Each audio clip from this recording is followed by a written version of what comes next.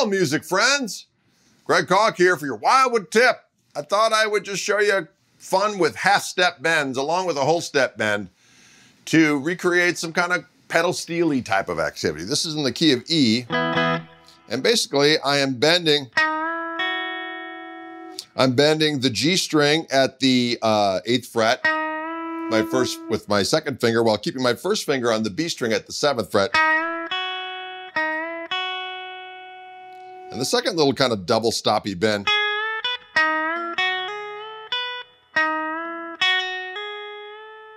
I'm going to go up there to the B string at the ninth fret and bend that up a half step. And match that with the tone of my first finger on the E string at the seventh fret. So let's do that first two parts again. Okay. Then I'm going to go up to the B string at the 12th fret and go up a whole step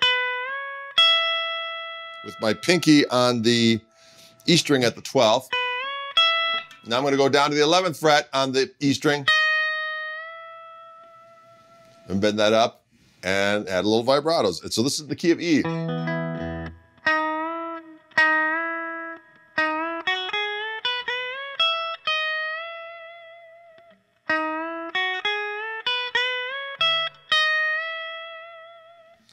All right, there you have it.